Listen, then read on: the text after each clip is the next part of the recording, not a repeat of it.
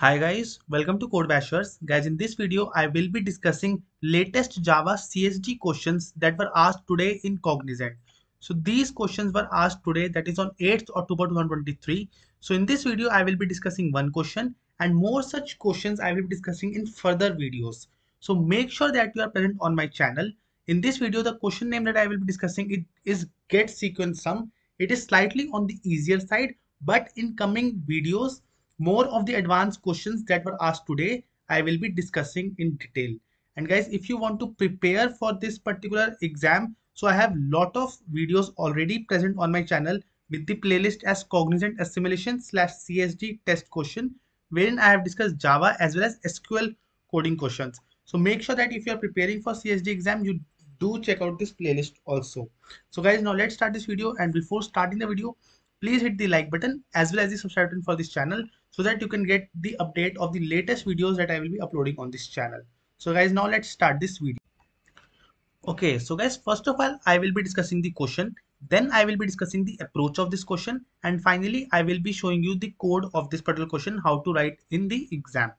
Okay, so the question here is given three integers i, j and k, a sequence sum to be the value of i i plus 1, i plus 2, i plus 3 till j, then j minus 1, j minus 2, j minus 3 plus k.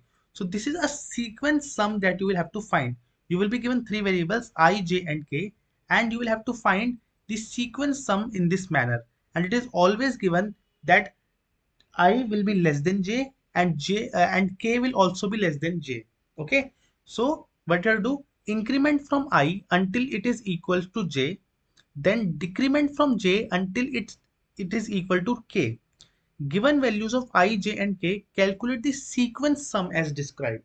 So if question is not clear to you, let's just quickly move towards the example. It will be more clear. So we are given i, j and k. So as I have told you that again i will always be smaller than j and k will also be smaller than j. Okay. So what you have to do? you will have to find the sum of all the sequence and how you will find the sum of all the sequence first of all what will you will do you will add all the numbers that are coming from i to j by incrementing by 1 that is 5 6 7 8 9 so these five numbers you will add. See this 5 plus 6 plus 7 plus 8 plus 9 so this sequ uh, sequence from i to j you will add. Okay? So this is the first step. Next step is what you will do now. You will start decrementing j by 1 every time and till it reaches k. Okay so now you will start decrementing j till it re reaches the k.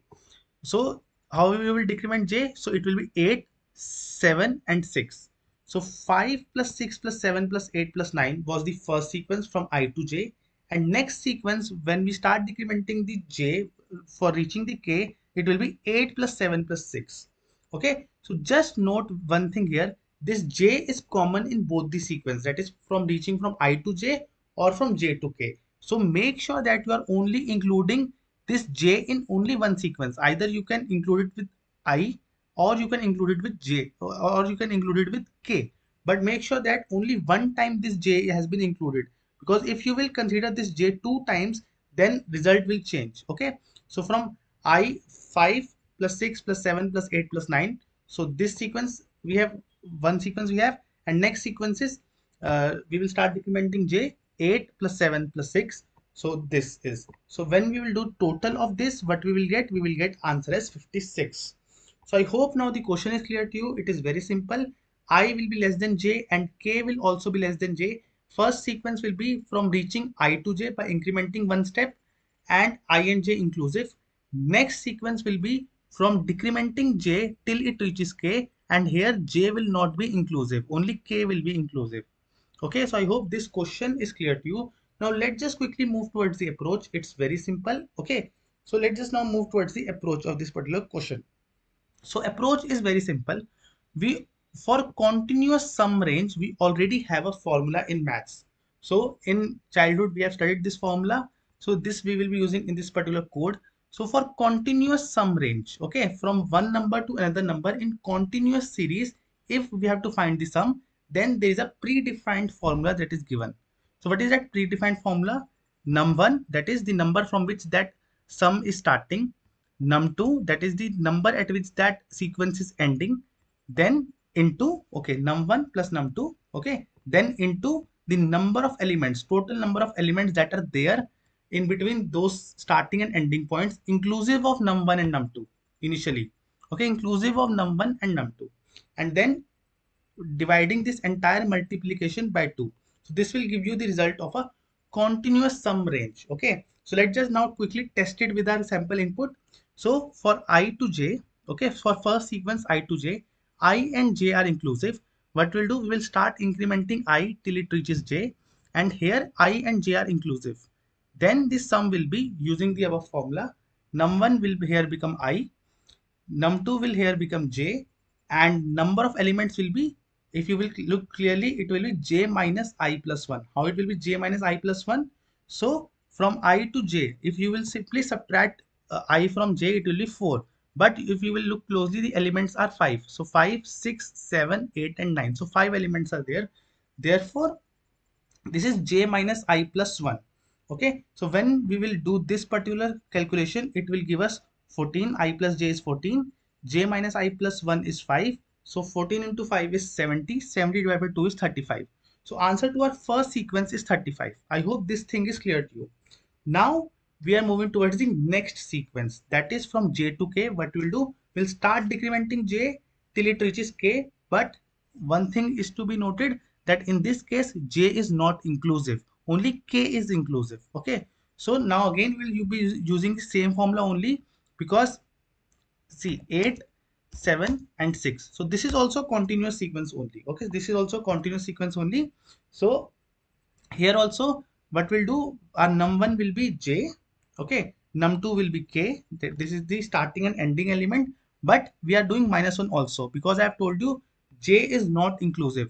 So our sequence will now not start with j that is 9 it will start from 8 so therefore j minus 1 and then first number is j minus 1 and num2 is k. So therefore this is like this.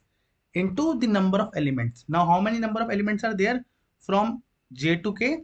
From j to k how many elements are there? There are three elements only. If you will look closely. So simply j minus k. Since 8 6 and 7 three elements are there but we are doing? We are simply doing j minus k. Sorry here it should be j minus k because j uh, k is smaller than j so j minus k. And once we will do this entire multiplication, we will simply divide it by 2. So let's just see what our calculation looks like. So j plus k minus 1 gives us 14 and j minus k gives us 3 and 14 into 3 divided by 2 gives us 21. And our final answer will be this a plus b that is 56 and this is our required output. So if you will look closely, this is our required output. So I hope now the question and approach are clear to you and uh, we will now quickly move towards the coding part and if you are finding this video helpful and want more such videos, then do hit the like and subscribe button for this channel and do comment down that yes, you want more such videos. Okay, so now let's just quickly move towards the coding part. Okay, so guys, for saving time, I've already written the code. So this is the function that you will have to implement. There will be three inputs that is i, j and k. What you will do, you will find the a1, you will find the b1 and you will simply return the sum of sequence 1 and sequence 2. How you will find the sum of sequence 1 as I have already told you this we have we have a simple formula that is num1 plus num2 into the number of elements and total divided by 2 so this is the formula i have clearly explained in the approach section. So how we have reached this a and now how we have reached this sequence b also i have told you. One thing to note here is very simple mistake you will do that you will include this j in both of these sequence. That will be wrong. J will only be included in one of the sequence. It is up to you. Either you have to include it in a or you will have to include it in B. In my case, I have included it in the A. Okay. So in the end, when you will get two results, you will simply return A plus B. And this is all for your code and it is this simple. So I know this is very simple and today the questions were asked on a different level. So timely tomorrow or day after tomorrow, I will keep on uploading the videos with some advanced level questions SQL and Java both I will be uploading. So be on the channel, do subscribe the channel and if you have these exams in coming days do share it with your friends also and watch this playlist. All the links you will find in the description box. So thank you for watching this video